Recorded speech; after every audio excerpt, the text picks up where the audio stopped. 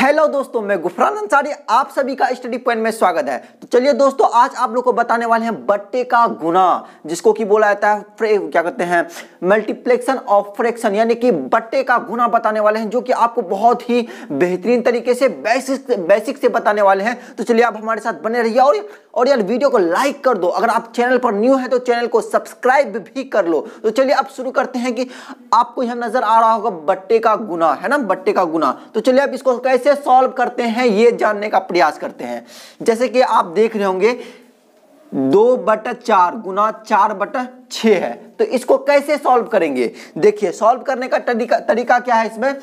ऊपर वाले को अंश बोला जाता है, नीचे वाले को हर बोला जाता है। ऊपर वाले को अंश बोला जाता है, नीचे वाले को हर बोला जाता है। तो इसमें होता क्या है कि ऊपर ऊपर गुना होता है, नीचे नीचे गुना होता है। देखिए कॉन्सेप्ट को ध्यान में रखिए। ऊपर ऊपर गुना होता है और नीचे नीचे गुना होता है। क्लियर और उसके बाद आपका ऊपर नीचे जो है, ये ऊपर नीचे जो है, ये ऊपर नीचे आपका कटेगा। क्या होगा? भाग होगा। कैसे? आपको देखिए, हम बताते हैं कैसे। जैसे मान लिए क्या? आपका ये चार ये चार कट गया। जैसे चार एकम चार चार एकम चार। कटा कि नहीं कटा? कट गया। चार एकम चार चार एकम चार कट गया। अब आप सेकेंड देखिए क्या होगा। यहाँ देखिए, दो एकम दो द्वितीय छ आपका कितना आ जाएगा? बताइए। ऊपर एक गुना एक बचा, एक गुना एक बचा तो क्या आएगा? एक आएगा, नीचे एक गुना तीन तो एक तिया तीन हो जाएगा। तो एक बटा तीन, आपका यही आंसर हो गया। है कि नहीं? बात तो बहुत क्लियरली आपको समझ में आया होगा। चलिए, अब हम दूसरा क्या कहते हैं, आपको फ्रैक्शन बताते हैं। देखिए, आप हमारे साथ बने रहिए। यार, वीडियो में एक लाइक कर दो। सोचो मत यार, एक लाइक कर दो। और आगे देखो। छ बटा तीन गुना नौ बटा आपका छ है।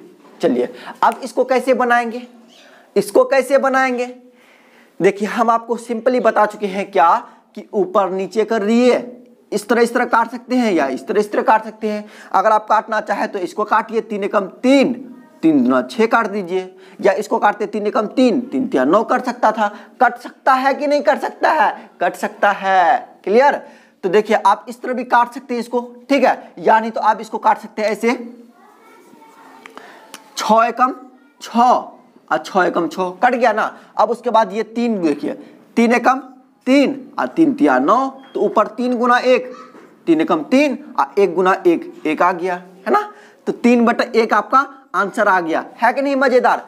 उम्मीद करता हूँ कि आपको समझ में आ रहा है। आगे देखिए, अगर आपका आठ बटा चार है गुना चार बटा बारह है, इसको कैसे करेंगे?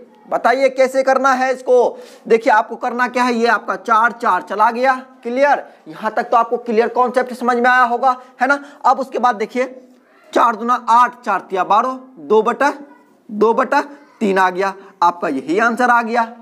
है कि नहीं? है ना? समझ में आ रहा? तो यार, एक वीडियो में लाइक दे दो। और चैनल पर न्यू है तो चैनल को सब्सक्राइब कर लो। यार, आप लोगों के लिए काफ़ी मेहनत करनी पड़ती है एक वीडियो बनाने के लिए। तो यार, आज लाइक और सब्सक्राइब कर ही दो। तो चलिए, अब मिलते हैं हम अगली वीडियो में। तो ओके बाय सी यू